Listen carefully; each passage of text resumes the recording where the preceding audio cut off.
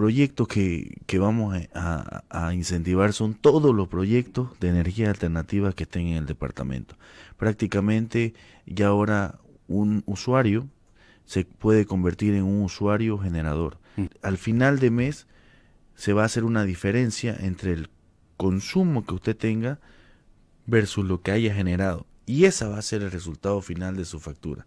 Va a tener un crédito energético, que ese crédito puede utilizarlo durante un año o también puede pasar esa energía a cualquier bien que tenga en todo el departamento. E incentivar a las energías alternativas y no se puede comprar ni vender energía, pero sí se puede autogenerar y sí se, hay un sistema de compensación que usted puede trasladar esa energía a donde usted desee.